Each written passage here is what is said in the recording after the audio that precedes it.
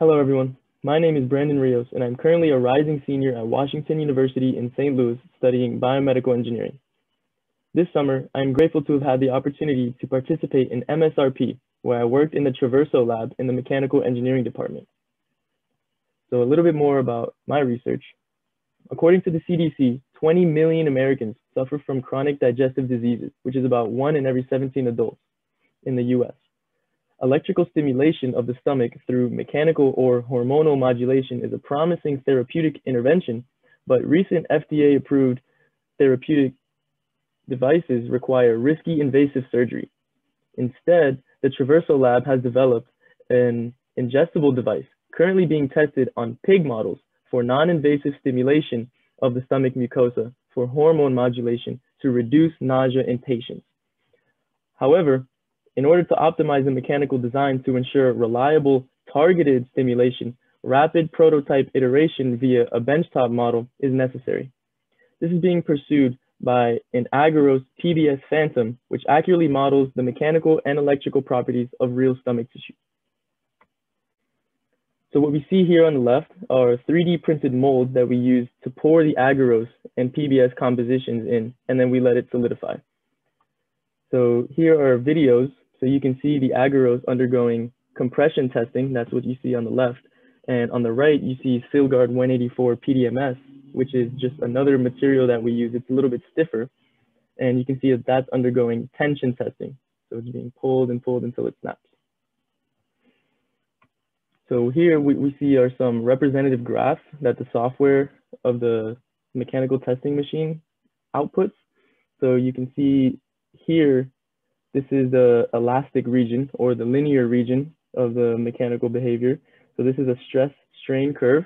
So once we take the slope of that linear region given by this red line here, gives us this number here, which is of particular interest to us because that is the stiffness of the material or what's called the Young's modulus. So this is the number that we're ultimately after.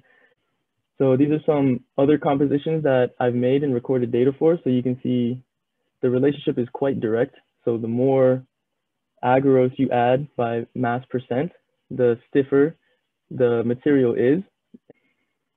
So here we can see just a visual representation of the Young's modulus versus stiff or versus a composition of the material.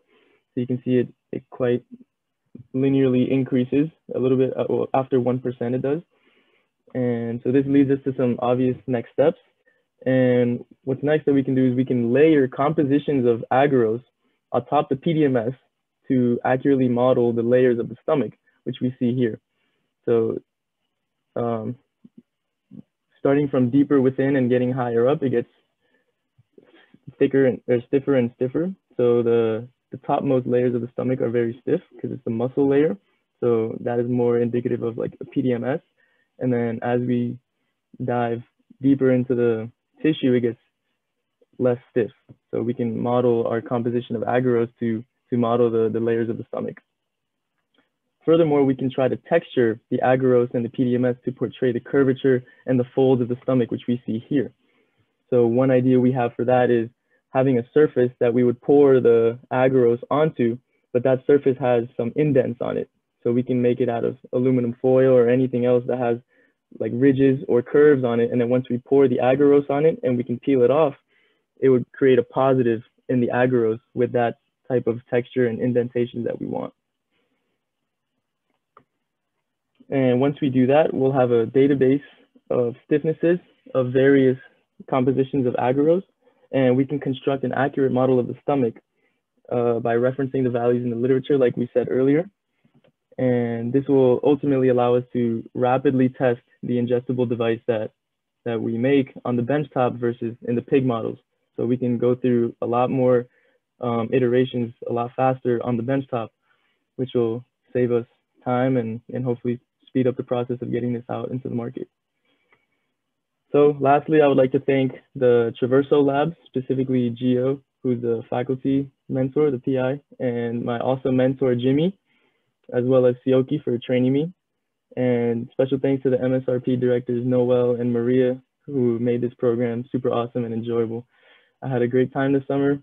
Thank you, everybody. Take care.